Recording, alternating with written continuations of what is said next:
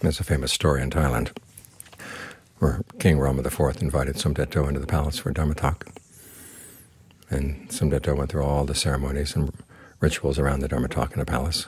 But uh, the length of the talk was hardly anything at all. One sentence, everything that needs to be known, Your Majesty already knows. End of talk. The king was very pleased.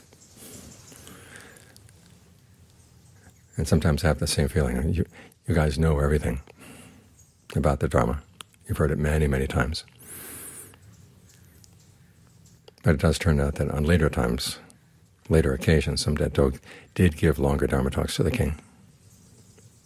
Because no matter how much you know, the question is, do you remember it, and do you remember it at the right time? Do you remember it when you need it?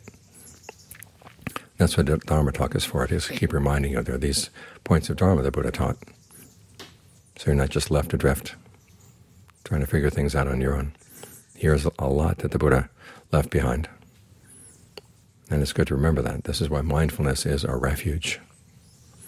Because if you learn things but you forget them, they don't do much good.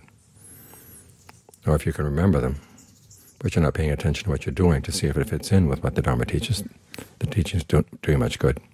Or if you know that you're not following it, but you don't care, you don't put any effort, and they don't do much good. It's those three qualities together that create your refuge, mindfulness, alertness, ardency. So always remember that these things are your refuge.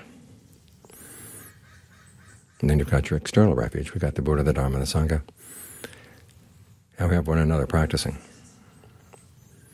The senior monks should remember that they're setting example for the junior monks. All the monks should remember they're setting example for the lay visitors, lay residents.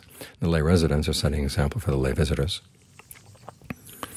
Now, anything that in that chain gets broken, then a lot of a lot of good habits, a lot of good ways of doing things get forgotten. So remember, you're doing your practice for yourself, but you're also doing it for others.